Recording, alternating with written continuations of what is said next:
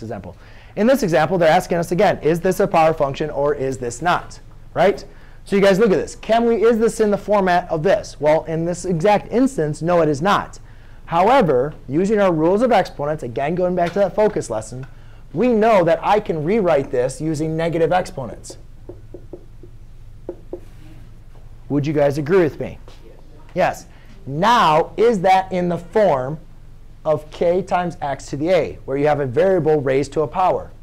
Yes. So I can say my constant, k, is this case is actually k, just a variable. My power, though, a, is negative 2. So it is a power function. OK? Huh?